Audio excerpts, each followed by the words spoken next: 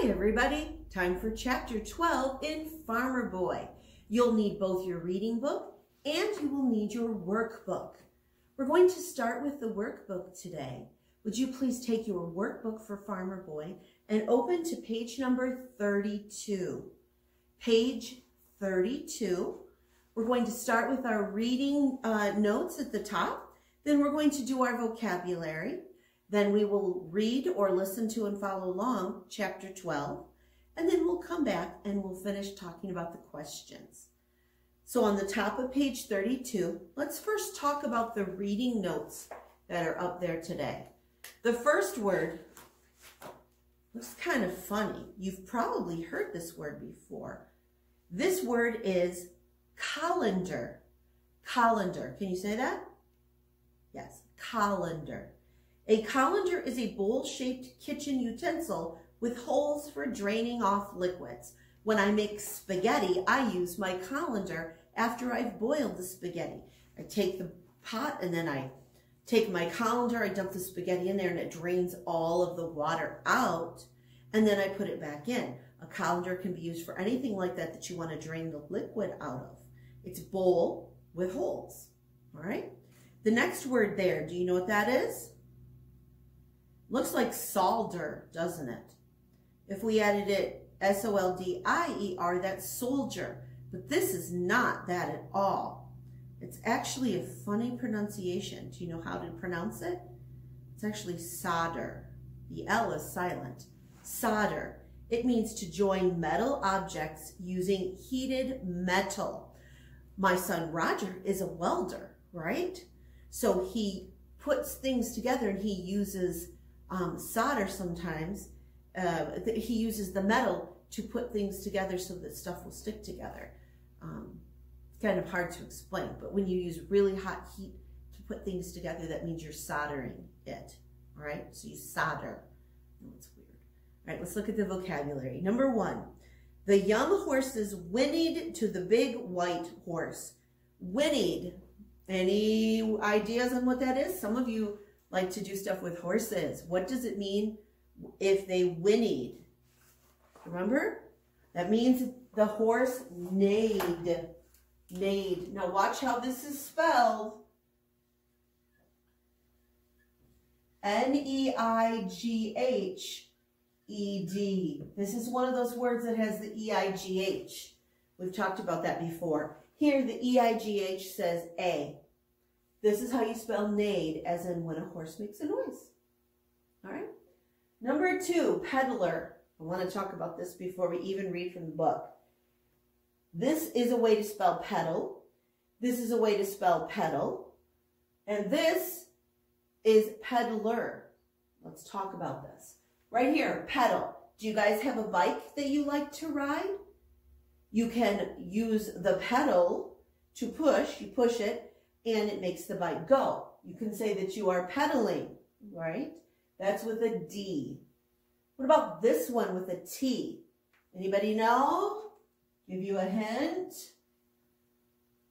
These things right here. A flower petal. A flower petal, that's the, the pretty colorful part of it, of a flower, okay? That's not what we are talking about here. A peddler. Not talking about either one of those. Let's read the sentence for context. Number two says, Nick Brown, the tin peddler, was a jolly fat man.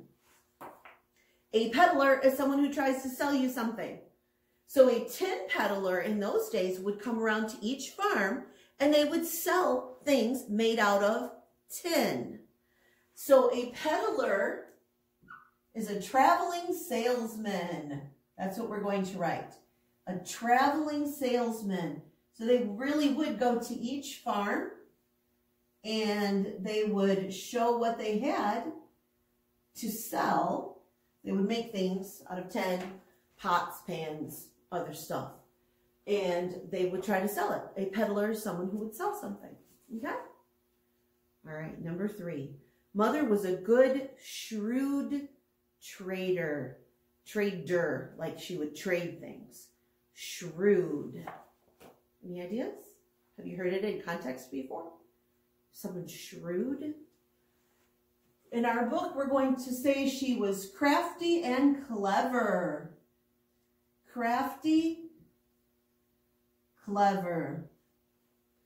Clever we've learned before. Clever means smart, not just book smart, but you know how to deal with people, you know how people think, you are smart when it comes to that, and you can figure things out. Crafty, meaning you can figure out interesting ways to do things, to be smart about it. Okay, so mother was a shrewd, uh, a shrewd trader. She knew how to do that uh, effectively to get the best deals. Number four, the big white horse stepped out eagerly. Oh, if you're eager to do something, that means you really want to do it, right? So this horse stepped out eagerly, L-Y, eagerly. It's an adverb. It means in a certain way, right? Eagerly means that he stepped out in an eager way. So the book puts it as with anticipation.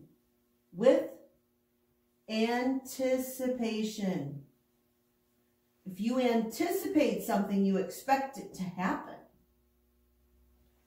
If you have a birthday coming up soon, you're anticipating your birthday coming. You're excited about it. You're eager to have it come.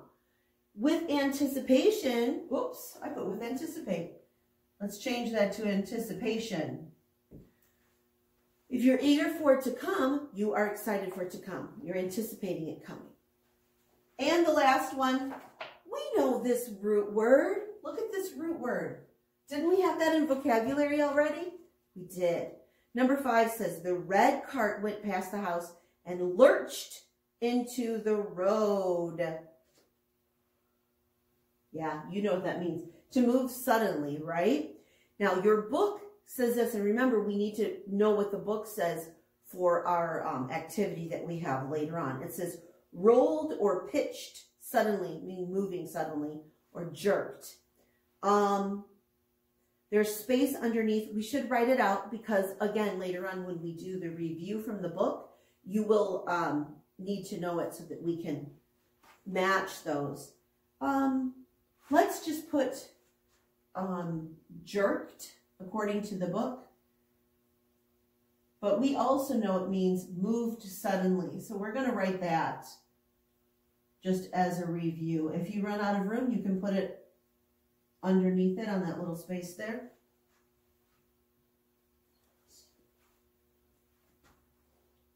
To jerked, moved suddenly. We're saying these in the past tense. All right, if you still need a couple minutes to uh, finish those up, that's fine. You can pause the video, but here's what we're going to do. You need to somehow read chapter 12, called The Tin Peddler.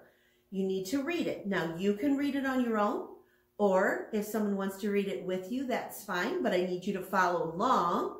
Or if you want to listen to it, either on YouTube or on Audible or some other system of listening to chapter 12, listening to someone read it to you, that is great. However, you must also look in your book and read every word with your eyes as they read out loud. So after you've read chapter 12, I want you to come back and we're going to talk about the questions on page 32.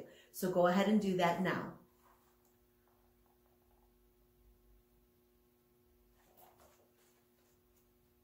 Alrighty, hopefully you've read chapter 12. I need you to open this book back up, Farmer Boy Workbook, page 32 if you're not there. Everybody there? Okay, question one. Who is Nick Brown and why are the Wilders eager to see him? Who's Nick Brown? That's the name of the Tin Peddler guy, right? Um, why are they so excited to see him come?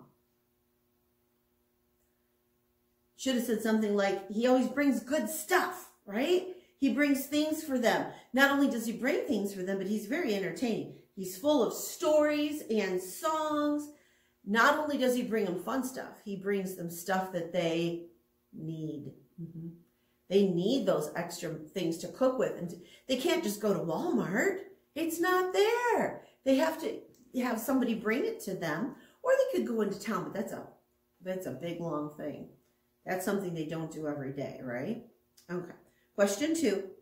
Describe some of the wares the peddler brings. My book has all kinds of stuff made out of tin. Can you tell me three things that were on his wagon right now? What was one of them? And two.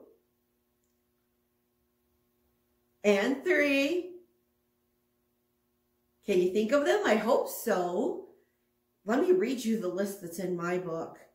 They, he had pails, pans, basins, cups, dippers, skimmers, strainers, steamers, colanders, graters, uh, horns, whistles, and toy animals. Whoa, that's a lot of stuff. That's a lot of stuff. Hopefully you remember three of them. All right, let's look at question three. Where does the peddler get the tinware he sells? Where does he get it for, from? Oh, he makes it himself, doesn't he? He does. He puts that work into it and then he sells it. When does he make them?